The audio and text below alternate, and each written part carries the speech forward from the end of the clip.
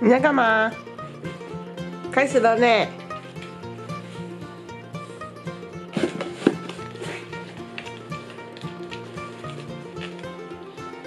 嗨，大家好，我是爱家。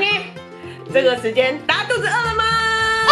哎呀，哎呀，今天呢，看我们桌上有罐头，又搭了帐篷。没错，你为什么今天一直打断我的话？今天呢，我们就是要来开箱非常方便的罐头调理罐，而且它去露营带出去也很方便。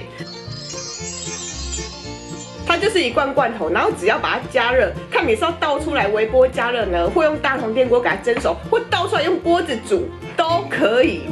这么方便，对，而且听说里面内容物非常的厉害，这个我还没吃过，但我看到的时候我就觉得这个超方便，好想尝试看看。而且广达香它是第一间台湾 GMP 的罐头食品，它有八十几年的历史。阿巴斯你也认识他，阿巴斯是蛮厉害的，我觉得他是第一代的厨神。对。那废话不多说，我们直接用煮的，这是我们煮大锅一点，都把它煮光好了。Go！Go！耶！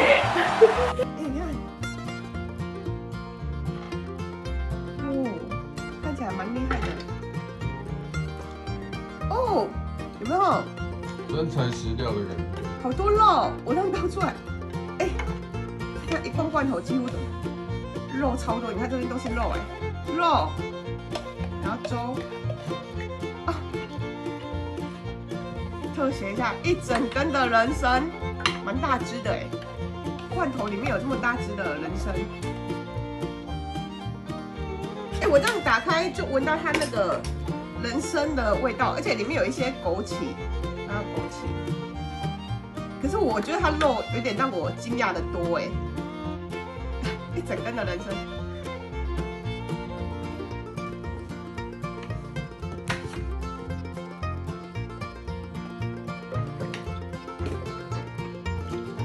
哦，我看到姜片，肉哎、肉真的很多，你看。哦，这打开有闻到麻油香了。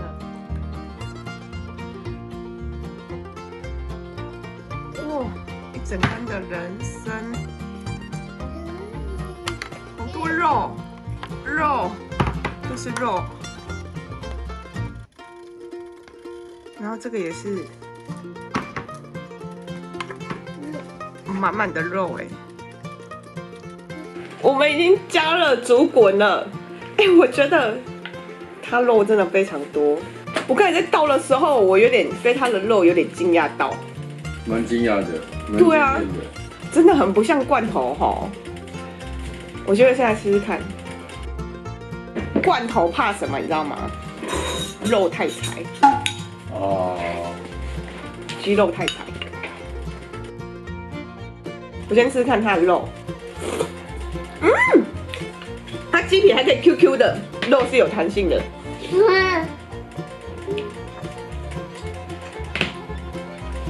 妈妈吃吃，它肉是很嫩的哎，它是腿肉的部分，无骨，完全去骨了。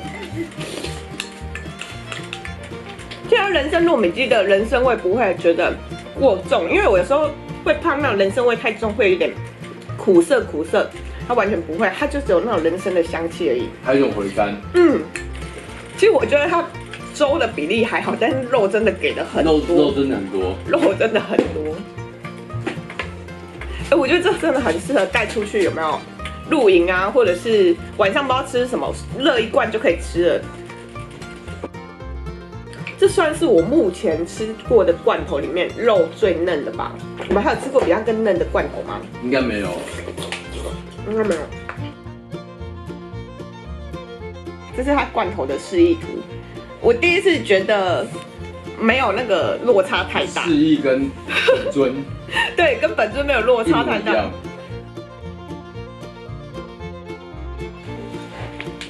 它肉真的超嫩，超大块，忍不住多喝一点。好喝对不对？我觉得就是露营啊，直接用隔水加热，然后一人发一罐，晚上宵夜就 OK 了，也不用再做什么太多的准备。我真的觉得它浓稠度刚刚好，它每罐罐头都有附一根人参呢，这一根哦。啊，人参很软，它已经煮的非常非常的软嫩，咬下去的瞬间会有一点点人参的那个苦涩，嗯，但我觉得还 OK，还可以接受。你感觉好补哦。我也觉得好补哦。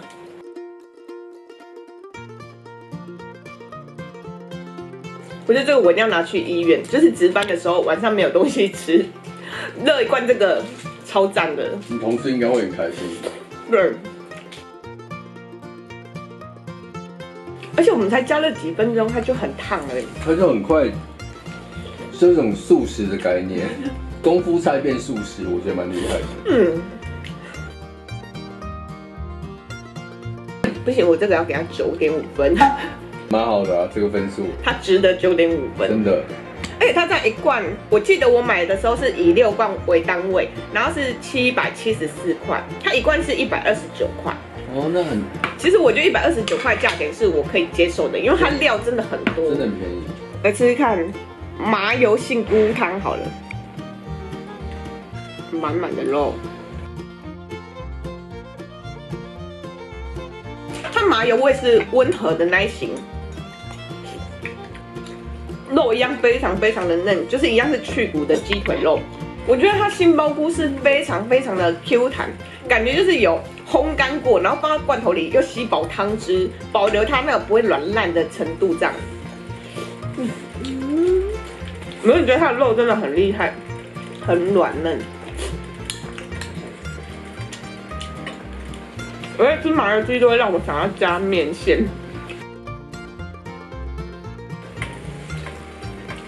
它几乎整锅都是肉哎，吃完我整个就热起来了。啊，我觉得它最厉害是它那个皮，就是煮的很软嫩，还可以吃到皮有点 Q Q 软软的口感。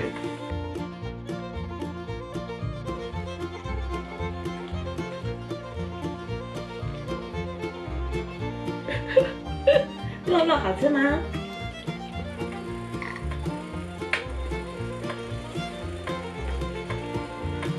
好吃吗？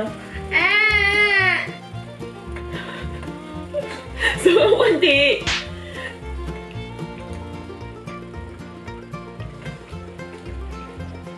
我觉得这肉真的很嫩，峰哥都没问题。